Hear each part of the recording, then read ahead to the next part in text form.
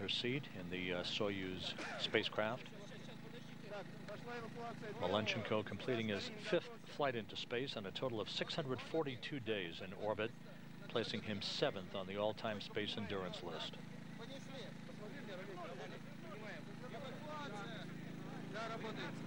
Uh, that coming on December 19th with the launching of Roman Romanenko, NASA astronaut Tom Marshburn, and Chris Hadfield of the Canadian Space Agency. Suni Williams uh, now uh, in this video replay being extracted. Uh,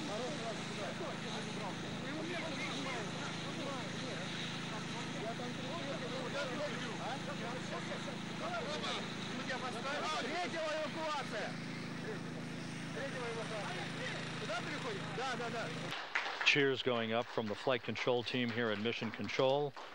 Good view of Suni Williams uh, in frigid temperatures uh, right outside of uh, the spacecraft. It was an expedited um, extraction of the crew. Very quickly did the search and recovery forces arrive on scene uh, to uh, remove the crew. There's uh, Soyuz commander Yuri Malenchenko wrapped up in black entry suits uh, removed. There's that familiar infectious smile of Suni Williams at the landing site. Aki Hoshide of the uh, Japan Aerospace Exploration Agency completing uh, his second flight into space.